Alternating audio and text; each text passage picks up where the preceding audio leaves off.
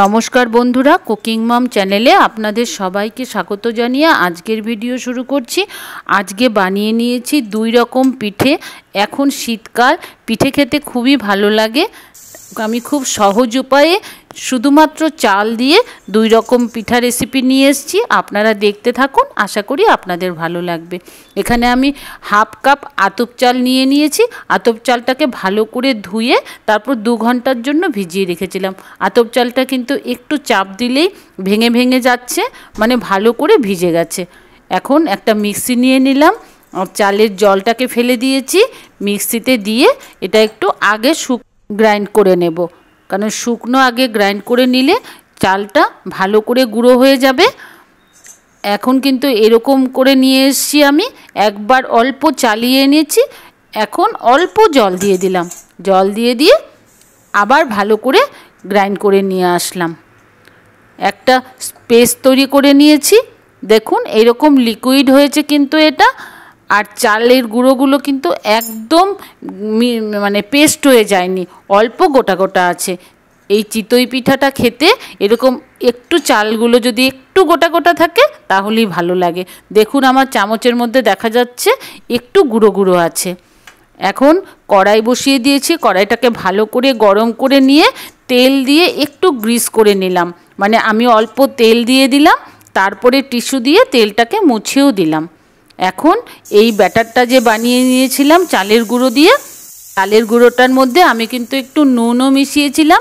এটা দেখেছেন নিশ্চয়ই? এখন এক হাতা এই কড়াইয়ের ওপরে দিয়ে দিলাম আর একটা ঢাকনা দিয়ে ভালো করে ঢেকে দিলাম। তিরিশ সেকেন্ড মতো ভালো করে যখন ভাজা হয়ে গেছে, তারপরে আমি অল্প ওপর থেকে জল ছিটিয়ে দিলাম। আর গ্যাসের ফ্লেমটাকে কিন্তু চিতই পিঠা করার সময় একদম লো রাখতে হয়। ওপরটা যখন শুকনো শুকনো হয়ে গেছে, তখন নামিয়ে নিলাম। একটা পিঠে আমার তৈরি হয়ে গেল। এই পিঠেটা কিন্তু দু সাইড ভাজতে হয় না, এক সাইড ভাজলেই হয়। আমি আরেকবার একটা করে দেখিয়ে দিচ্ছি। এখন কিন্তু কোনো তেলের ব্যবহার করিনি। একবারই তেল দিলে হয়ে যাবে। গ্যাসের ফ্লেমটাকে লো রেখে দিয়ে আবার আমি এক হাতা দিয়ে ঢাকা দিয়ে দিলাম। তিরিশ সেকেন্ড পর একটু ওপর থেকে জল ছিটিয়ে দিলাম। আর যখন ওপরটা শুকনো শুকনো হয়ে গেছে, তখন নামিয়ে নিলাম। আমি কিন্তু এভাবে একে একে সব পিঠেগুলো তৈরি করে নিয়েছি। হাফ কাপ আমার, আমি চাল নিয়েছিলাম, তাতে আমার এই ছটা পিঠেই হয়েছে। দেখুন, পেছনটা ঠিক এরকম হবে আর সামনেটা এরকম ভাজা হবে। এটা কিন্তু খুব সুস্বাদু একটা রেসিপি আর খুব হেলদি চিতই পিঠা খেতে কিন্তু ঝোলা গুড় দিয়ে খুব ভালো লাগে, তাই আমি একটু গুড়, এরকম জল দিয়ে একটু জাল দিয়ে নিয়েছি, একরকমভাবে পিঠা কিন্তু তৈরি হয়ে গেল। আরেকভাবেও এই পিঠাটা খাওয়া যায়, হাফ লিটার দুধ নিয়ে দুধটাকে এরকম শুকিয়ে এক কাপ মতো করে নিয়েছি, তারপরে এই পিঠেটাকে এই দুধের মধ্যে দিয়ে দিলাম।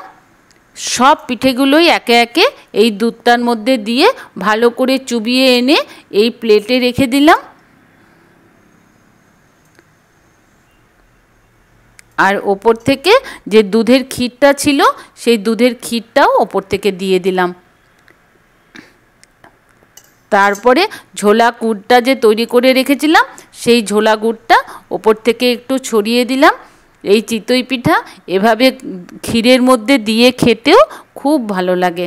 আমার আজকের রেসিপি দুটো, আপনাদের যদি ভালো লাগে প্লিজ একটা লাইক করে দেবেন আর আমার চ্যানেলের বন্ধু হয়ে আমার পাশে থাকার অনুরোধ জানিয়ে আজকের ভিডিও শেষ করছি। ভালো থাকবেন, আবার আসব নতুন কোনো রেসিপি নিয়ে। Thank you